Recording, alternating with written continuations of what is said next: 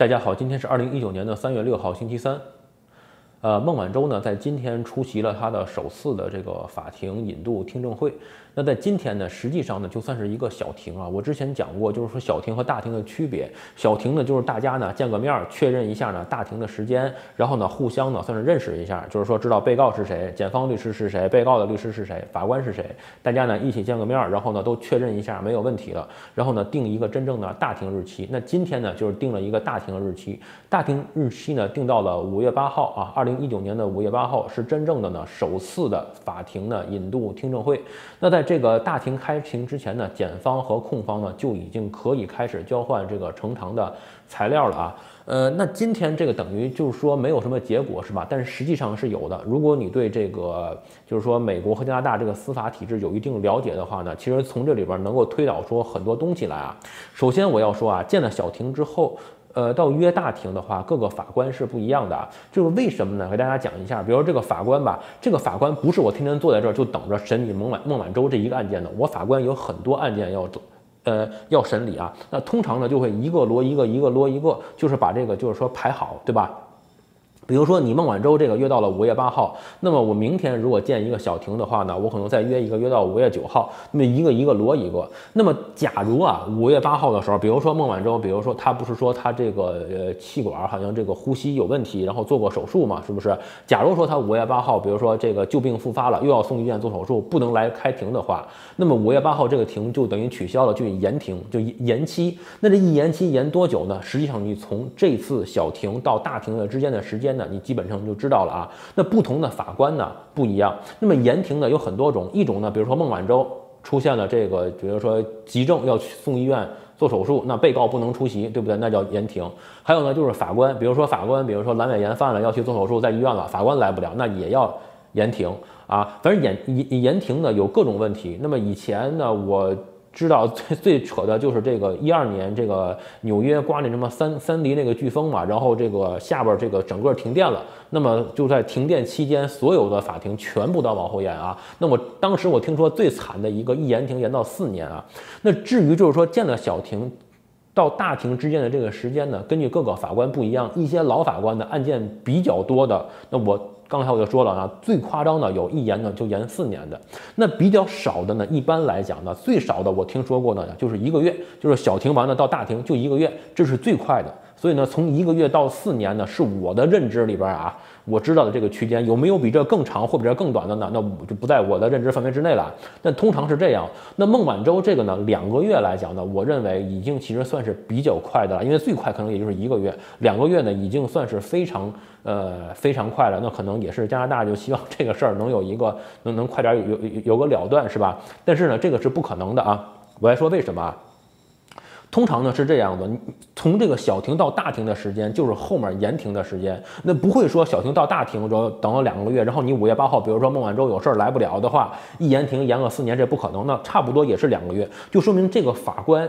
就是说，这个法官的话，你只要提前两个月约约就能约到，你明白吗？这不是一个特别忙的一个法官。有的法官，如果你小庭到大庭你约了一年，那么你延庭差不多也一年，因为这个法官一约就要约一年以后，他未来一年的这个时间表都排满了啊。那从这儿来讲呢，就可以推导出来，孟晚舟呢每一次有各种理由的延庭呢，差不多都在两个月上下这么一个时间啊，不会比这个短太多，也不会比这长太多。那么。从此能够推导出什么来呢？你看，我我我讲我这个逻辑推导的过程啊，你你们可以跟着我这个思路走一下。我当然我不见得对啊，但是我最少我把我这个分析这个事情的这个过程讲出来。孟晚舟在保释的时候呢，是连开了三庭，但保释的时候呢，这连连三庭呢，基本上是连着隔了一天就一庭，隔了一天就一庭啊。但是中间赶上一个周末，所以呢，从星期五呢跨度到星期一去了。连了三庭之后呢，最后呢，法官决定呢，孟晚舟可以保释。那从从此你就可以看出来，孟晚舟这个法庭引渡的这个听证会呢，差不多也要在两庭到三庭啊。那么正常来讲，五月八号第一次。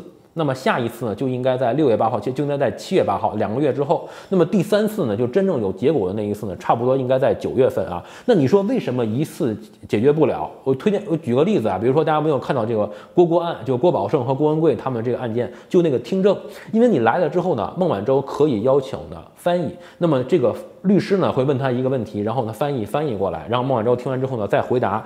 再拿中文回答，翻译再翻译过去，然后呢，再有法庭的记录等等的，就这样子，叫一一次这个问询啊，来来回回的，可能这一个人就要拖两三个小时，就跟玩儿一样。那么这个人问一下，那个人问一下，再叫几个证人，这一拖，这一天就过去了。这一天过去之后呢，下一次开庭呢，可能差不多就一两个月之后了啊。所以就正常来讲啊，一点儿。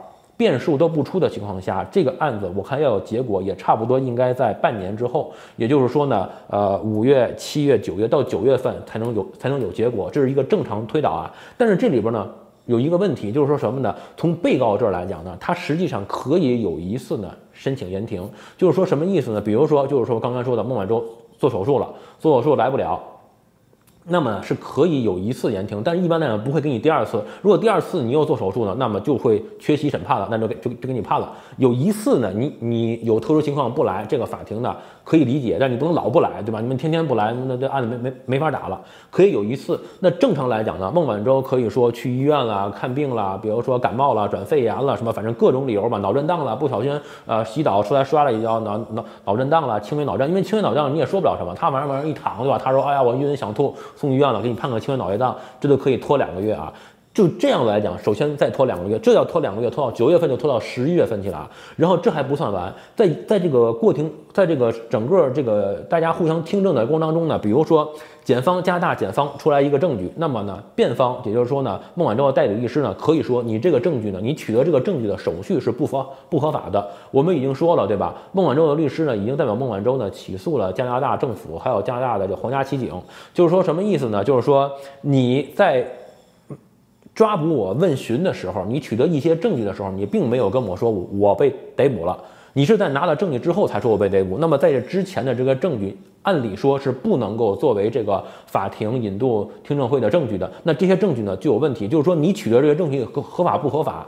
举个例子，就是辛普森案件，他这个血液，就是说当时呢那个取得血液证据的时候呢，这个程序呢是违规的，所以那个血液证据最后呢就不能够作为呈堂证供了。像周立波案件呢，周立波那个枪和毒，因为警察呢在取得他枪和毒的时候呢。没有征得周立波的同意，当然周立波这么说呀，那么最后枪和毒呢不能作为证据的话，那等于他就没有了，就光就光剩下一个，就是说一个交通违规了，那交个交通违规的罚单呢，就就没事了，就回家了。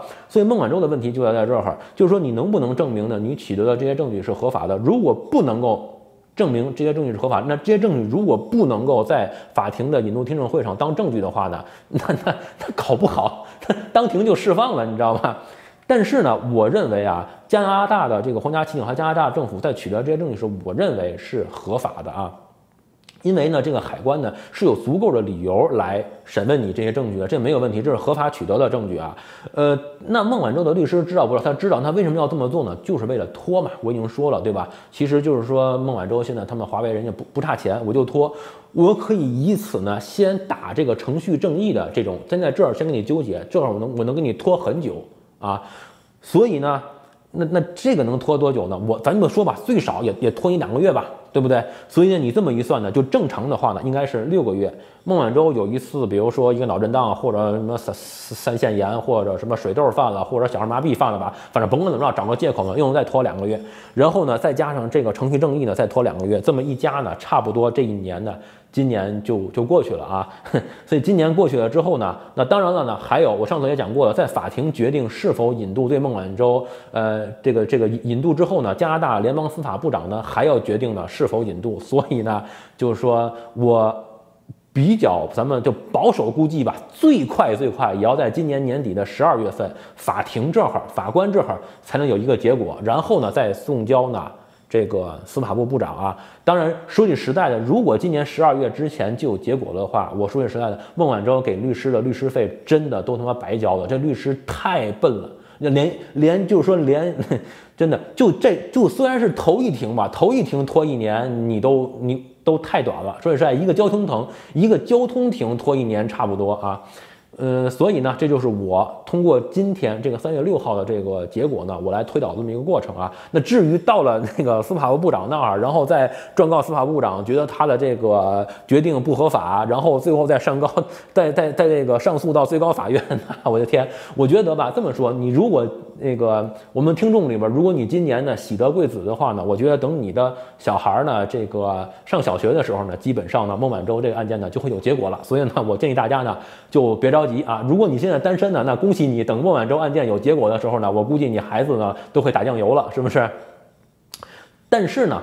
话虽话虽这么说，但是你问我觉不觉得孟晚舟案件会拖这么久呢？我觉得呢不会拖这么久的，因为我早就说过了，这个的结果从第一次我就说了，孟晚舟一定会走上间谍桥，会跟中共呢去交换电交换间谍。至于怎么交换呢？这个细节呢我就不再那个预测了，因为我发现我在预测细节这个方面一向有问题啊。但是结果呢？就是说，肯定是是这么个情况啊。孟晚舟最终会帮助呢加拿大呢交换回来呢这个康明凯呢，呃和 Michael 啊，所以我不认为呢孟晚舟这个事件会真正的把这个这个繁琐的、复杂的、漫长的司法程序呢都走完，好吧？那这就是今天的这个法庭结果和我根据今天的法庭的这个结果呢推导的一个过程啊，也许不一定对，不过给大家呢提供一个新的思路吧。好，那这条新闻播报到这里吧，谢谢大家。